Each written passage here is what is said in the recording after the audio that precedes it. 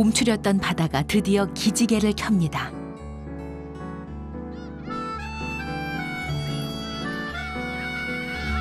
저 멀리서 불어온 따뜻한 바람이 소박하고 작은 이곳 장고항까지 왔습니다.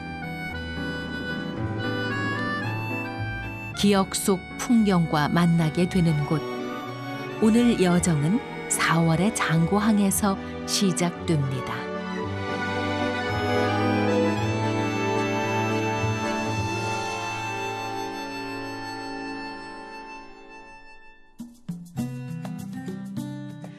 충남 당진에 위치한 장고항은 포구를 둘러싼 육지의 모습이 장구를 닮았다 해 이름 붙었습니다.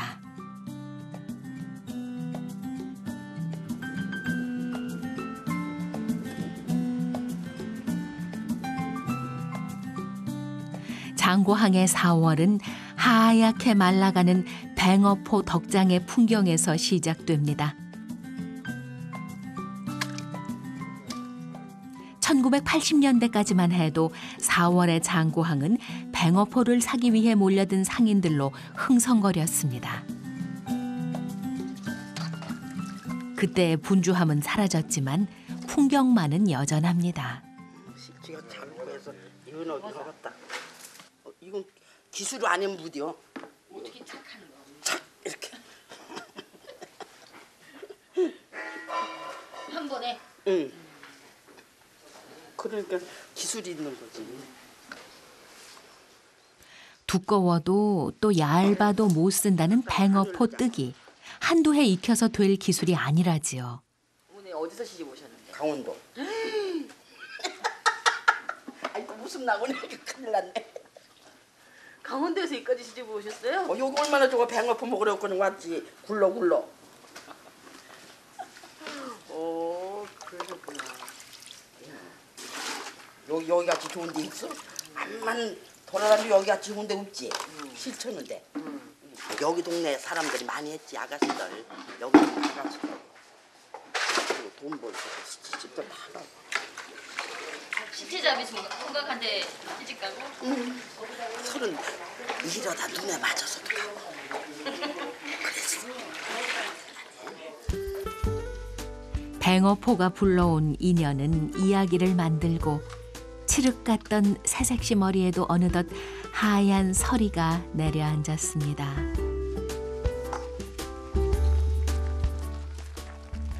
덕장이를 찾아 타지에서 몰려들 정도로 번성했던 장고항. 이제 그 많던 덕장은 사라지고 이곳 하나 남았습니다. 호 시절은 흘러갔지만 이곳에서는 여전히 볕 좋은 날을 골라 뱅어포를 말립니다. 아니 햇빛에 말르지. 이 벼세. 벼하고 바람하고. 이렇게 말리는 게 좋은 거예요? 좋죠. 이거는 뭐 저런 공장 같은데 저렇게 뭐 건조기로 하는 거 아니고 자연 바람으로 바로 좋죠. 뱅어포는 하루 동안 볕에 말려야 제맛이 난다죠. 8시간을 꼬박 말려야 완성되는 뱅어포. 예나 지금이나 한 장의 뱅어포를 얻기 위해 안악들은 수고로운 손길을 아끼지 않습니다.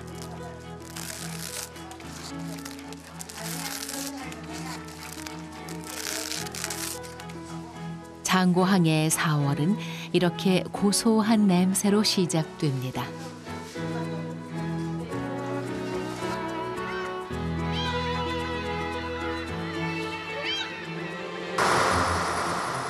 장고항을 가득 메운 새벽 안개 헤치고 배 한 척이 바다로 나왔습니다. 뱅어포로 장고항이 들썩이던 그 시절처럼 어부는 뱅어포의 재료인 실치를 잡으러 나섰습니다.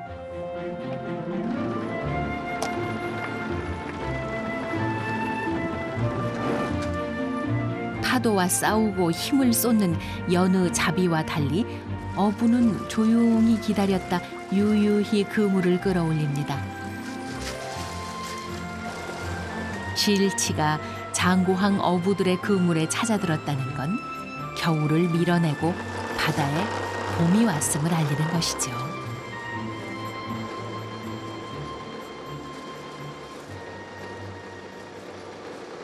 아, 여기, 뭐 큰걸 안 잡고 지금 실수적이라 네. 시일처럼 생겨 이름 붙은 시일치는 낭장망이라는 그물로 잡습니다. 주머니처럼 생긴 낭장망에 성긴 그물과 모기장처럼 촘촘한 그물을 이중으로 써 시일치만 따로 잡아내죠. 한창 분주해도 모자랄 시간에 찾아온 정적.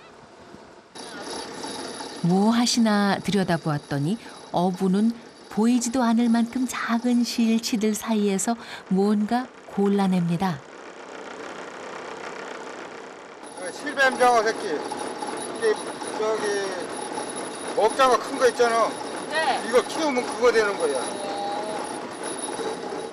장고항의 4월은 운수 대통의 달인가 봅니다. 하나에 천원 남짓하는 실뱀장어도 심심치 않게 올라오니 말이죠.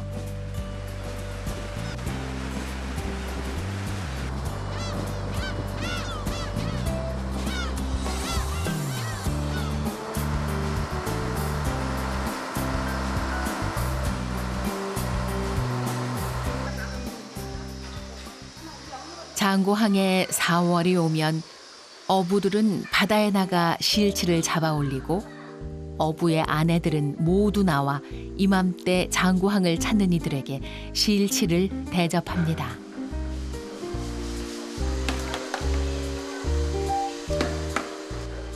실치는 손질하는 일부터 손이 많이 갑니다. 그러다 보니 어부의 아내들은 4월이 오면 눈 코 뜰 새도 없이 바빠지죠. 해야지. 그렇지 않으면 나쁜 건데기가 다 나오거든요. 아내들까지 나와 바지런을 떨어야 하는 이유 있다죠. 회로 맛볼 수 있는 부드러운 실치는 지금 딱 달포 동안만 맛볼 수 있기 때문입니다. 두벌 걸르고 또 한 벌 더 걸러야 돼요. 이게 맑은 물이 나올 때까지 깔끔하게 걸르는 거예요. 정성으로 뽀얗게 씻어낸 실치가 고운 자태를 뽐냅니다. 아직 뼈가 여물지 않아 부드러운 실치는 무얼 해 먹어도 맛있다죠.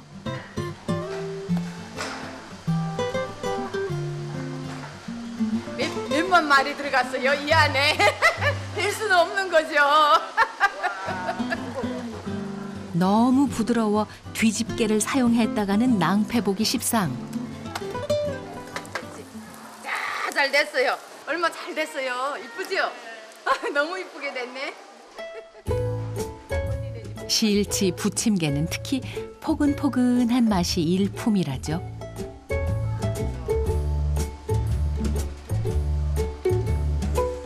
하지만 뭐니 뭐니 해도 4월 장구항의 별미는 실치 회무침입니다.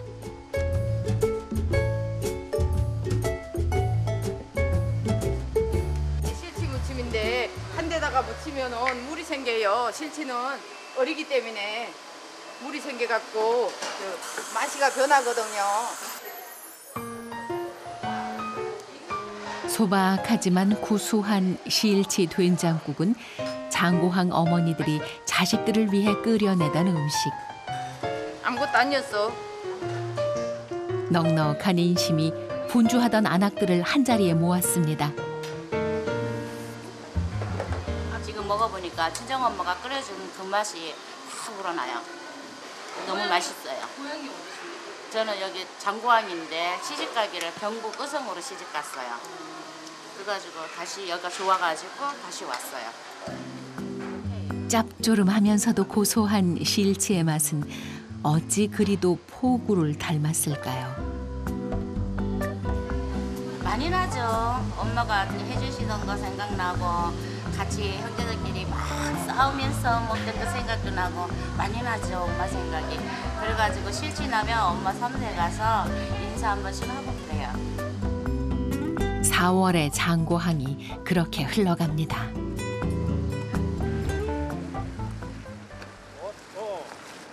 사월이 오면 바다 사나이들이 바빠집니다.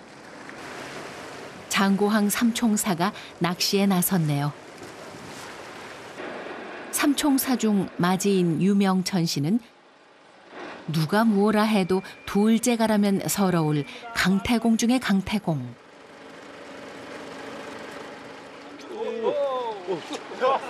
오.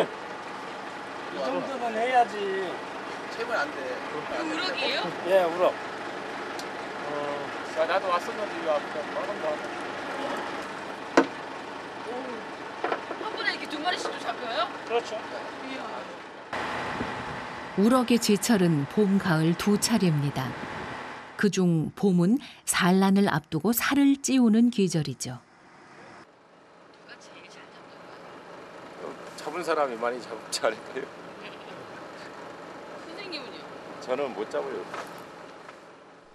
형님 지켜 세우는 삼총사 중 둘째 박병선 씨. 그래도 실력은 숨길 수 없나 봅니다. 꽤 실한 녀석이 올라왔습니다. 어.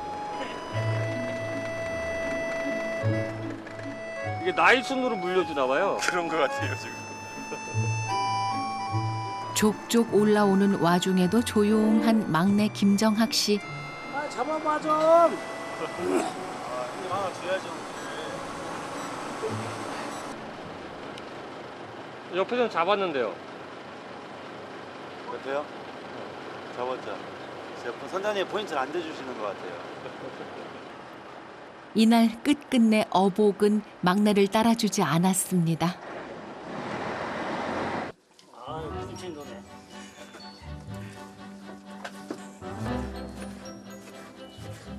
배 위에 조촐한 잔치가 벌어졌습니다. 만선은 아니지만 함께 나누고 즐길 수 있다면 그것으로 족합니다. 아유. 어제 입에 있는데 끝나지 마. 아우. 아우. 알죠? 왜 이렇게 소리를 내세요? 달아요, 달아. 육질이 그냥 쫄깃쫄깃한 게. 마음까지 풍성해지는 계절. 아 끝내줍니다 진짜. 장고항의 4월은 그런 의미입니다.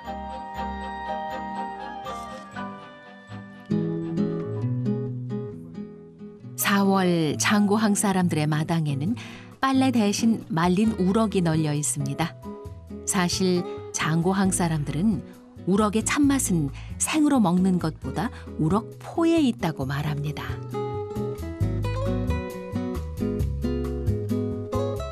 이걸 소금에 염장을 해갖고 이제 말려서 보관을 하는 거예요. 소금에 말린 거예요? 예, 소금에 절여서 말리는 거죠.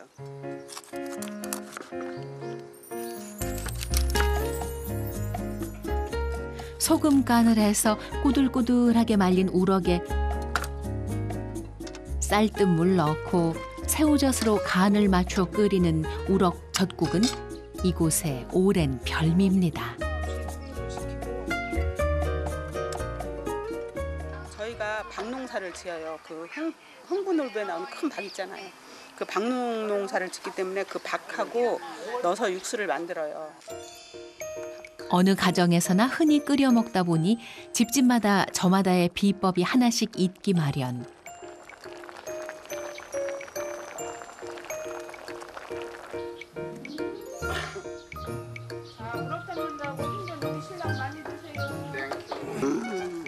뽀얗게 우러난 진국이 입맛을 자극합니다.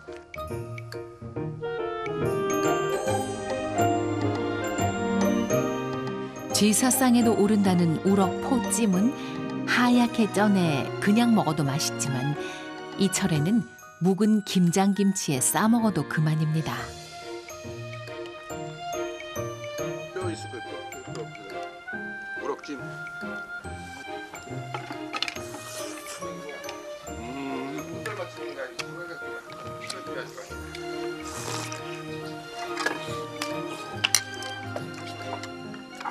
좋습니다. 어 머니가 해주는 게 맛있어요? 이 아내분이 해주는 게 맛있어요? 잘 생각해야 돼요. 그 그래도 어려서 먹던 맛이 잊어버리질 않죠. 어떻게 그 맛은 나는 것 같아요? 아직 따라갈란 멀었죠. 아이 뭘 섭섭해요. 당연한 거지요. 뭐. 이 다음에 우리 아들도 그런 얘기 할 거예요.